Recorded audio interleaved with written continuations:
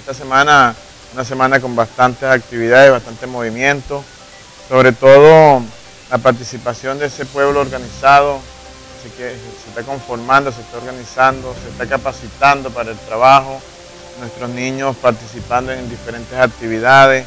Y por supuesto los voceros y voceras de la sala de batalla articulando con los distintos consejos comunales para ir buscando solución a nuestra, los distintos problemas que, se enfrentan diariamente.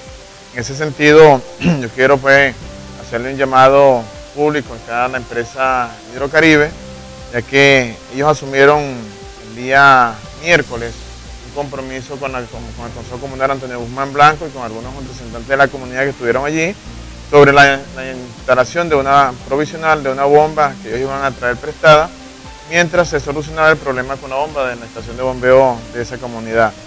Ellos quedaron que entre, entre el jueves y el viernes instalaban esa bomba. Lamentablemente se notó su ausencia. Hoy en la mañana la comunidad amaneció en peores condiciones y estamos propensos a que se desate una, una serie de enfermedades allí porque ya los vecinos tienen el agua dentro de sus casas. Ya por la sala de algunas casas está pasando libremente el agua de cloaca y eso es algo que es muy grave para la salud. De manera pues que yo, yo quiero hacer este llamado público a la empresa Hidrocaribe para que trate el día de hoy tratar de solventar el problema de la bomba de Antonio Guzmán Blanco y no esperar que la comunidad vaya a tomar otro tipo de acciones como el tranque de vía, la toma de la institución para que puedan solventar el problema.